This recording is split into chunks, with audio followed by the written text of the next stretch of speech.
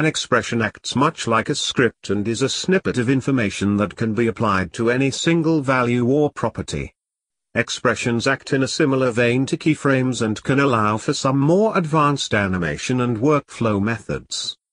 Expressions are not a replacement for keyframing methods rather can be used in tandem. The key benefits of using expressions are that they can allow for the simplification and semi-automation of effects and tasks that otherwise would require significantly more keyframes.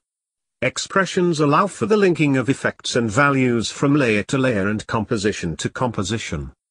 The majority of effects achievable via expressions can be achieved via traditional keyframing and parenting methods but the key advantages of expressions is when they are used correctly they can be a significant time and cost saver.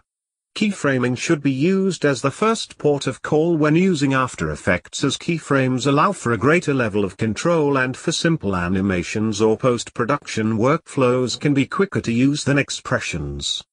The rule of thumb is that if it can be easily keyframed it is best to keyframe. Scripts should be used with caution and expressions can be daunting to those without knowledge on how to use them sparingly. In the following videos we will go through some expressions and how they can be applied to your project.